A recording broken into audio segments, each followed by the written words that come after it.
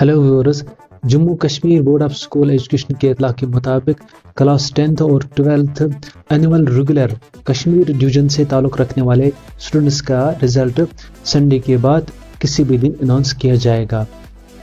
Sunday के बाद किसी भी दिन रिज़ल्ट डिक्लेयर किया जाएगा। पहला रिज़ल्ट डिक्लेयर किया जाएगा क्लास ट्वेल्थ का, उसके बाद टेंथ का। तो कल शहर बीन में भी इस हवाले से बात की गई। तो आप ये शहर बीन से ली गई ये बाइट्स खुद सुने। बोर्ड ऑफ़ स्कूल एजुकेशन के मुताबिक सुबह कश्मीर से ताल्लुक रखने वाले दसवीं और बारहवीं जमात रेगुलर इम्तहान उम्मीदवारों के नतज आने वाले हफ़्ते में ज़ाहिर किए जाएँगे। इतलात के मुताबिक इतवार के बाद किसी भी रोज पहले बारहवीं जमात और फिर दसवीं जमात के नतीजे ज़ाहिर किए जाएँगे।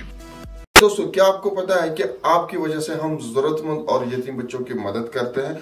बिल्कुल ऐसा हो रहा है पिछले एक साल से। और अगर आप जानना चाहते हैं कि ये कैसे हो रहा है तो ऊपर आई बटन पर क्लिक कीजिए और जानिए कि हम लोग आपकी वजह से कैसे जरूरतमंद और यतीम बच्चों की मदद करते हैं।